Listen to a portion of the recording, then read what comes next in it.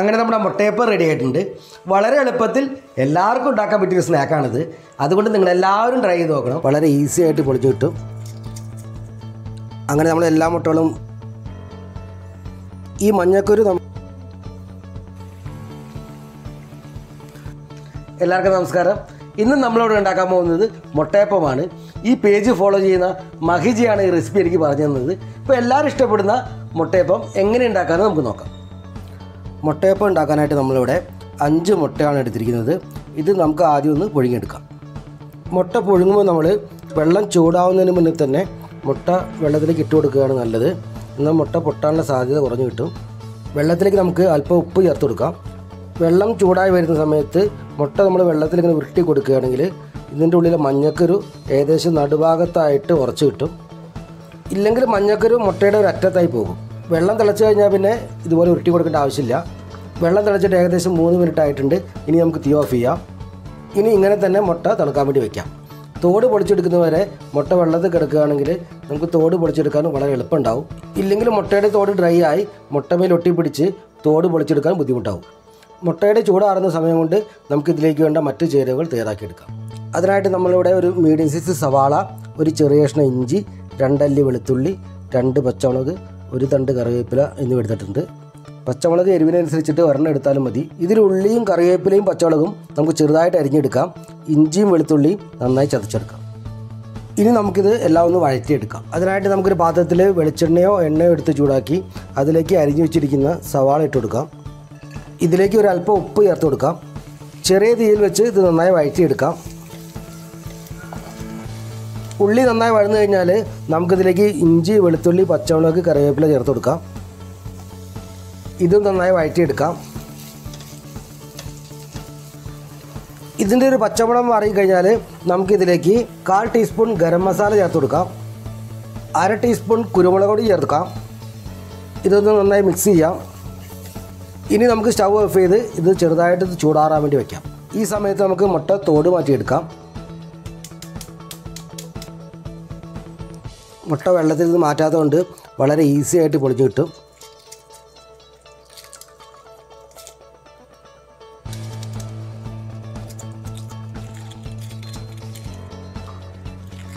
ഇനി നമുക്ക് ഈ മുട്ടയെല്ലാം നേരെ പകുതി മുറിച്ചെടുക്കാം.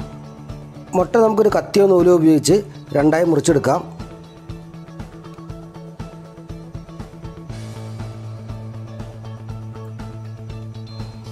ഇതിന്റെ ഉണ്ണി നമുക്ക് മാറ്റി വയ്ക്കാം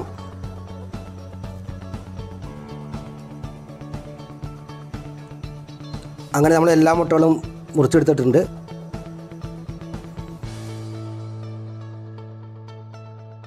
ഇനി നമുക്ക് മുട്ടയുടെ മഞ്ഞക്കുരു നന്നായി പൊടിച്ച് വയറ്റി വെച്ചിരിക്കുന്ന മസാലയിലേക്ക് ചേർത്ത് കൊടുക്കാം.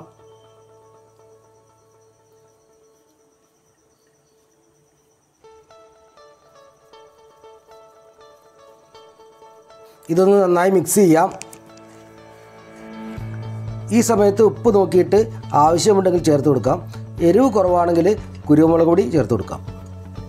ഇനി നമുക്ക് ഈ ഫില്ല് മുട്ടയുടെ മഞ്ഞക്കരു ഇരുന്ന ഭാഗത്ത് നിറച്ചു കൊടുക്കാം.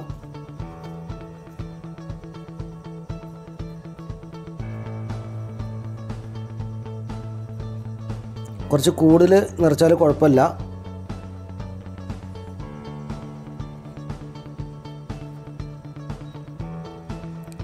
ഇങ്ങനെ നമുക്ക് എല്ലാം ചെയ്തെടുക്കാം. എല്ലാ മുട്ടയും നമ്മൾ ഫില്ല് ചെയ്തെടുത്ത് വെച്ചിട്ടുണ്ട്. ഇനി നമുക്ക് ഇതിനാവശ്യമുള്ള കോട്ടിങ് തയ്യാറാക്കാം. അതിനായിട്ട് നമ്മളിവിടെ ഒരു ബൗളിൽ ആറ് ടേബിൾ സ്പൂൺ നിറയെ മൈദ എടുത്തിട്ടുണ്ട്. ഇതിലേക്ക് ആവശ്യത്തിന് ഉപ്പ് ചേർക്കാം. ഇതിലേക്ക് ഒരു നുള്ളു ബേക്കിംഗ് സോഡ ചേർക്കാം. ഇത് നിങ്ങൾ താല്പര്യമില്ലെങ്കിൽ ചേർക്കേണ്ട ആവശ്യമില്ല. ഇനി നമുക്കിത് നന്നായി മിക്സ് ചെയ്യാം. ഇതിലേക്ക് നമുക്ക് കുറേശ്ശെ വെള്ളം ചേർത്ത് മിക്സ് ചെയ്തെടുക്കാം.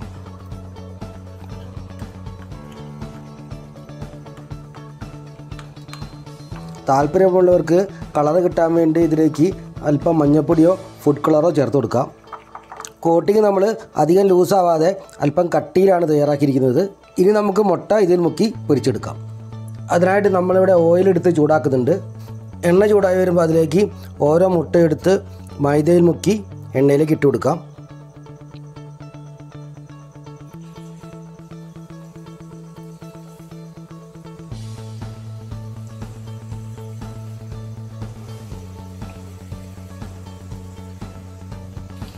തീ മീഡിയം ഫ്ലെയിമിൽ വെച്ചാൽ മതി.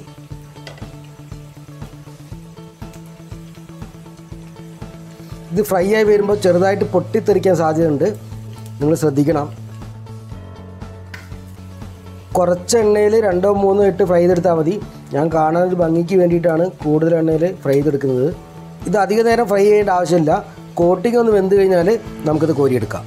ഈ റെസിപ്പി നിങ്ങൾക്ക് ഇഷ്ടമാവുകയാണെങ്കിൽ എല്ലാവരും ഇതൊന്ന് ഷെയർ ചെയ്യണേ. ഈ വീഡിയോ നിങ്ങൾക്ക് ഇഷ്ടമാവുകയാണെങ്കിൽ ചാനൽ സബ്സ്ക്രൈബ് ചെയ്യാനും ബെല്ലൈക്കൻ അടിച്ചു വിടാനും മറന്നു പോരുതേ ഇങ്ങനെ നമുക്ക് ബാക്കിയുള്ളത് കൂടി ഫ്രൈ ചെയ്തെടുക്കാം. അങ്ങനെ നമ്മുടെ മുട്ടയപ്പം റെഡി ആയിട്ടുണ്ട്. വളരെ എളുപ്പത്തിൽ എല്ലാവർക്കും ഉണ്ടാക്കാൻ പറ്റിയൊരു സ്നാക്കാണിത് അതുകൊണ്ട് നിങ്ങൾ എല്ലാവരും ട്രൈ ചെയ്ത് നോക്കണം. എന്നിട്ട് എന്നോട് അഭിപ്രായങ്ങൾ പറയണം. മറ്റൊരു വീഡിയോ ആയിട്ട് ഞാൻ വീണ്ടും വരാം. ബൈ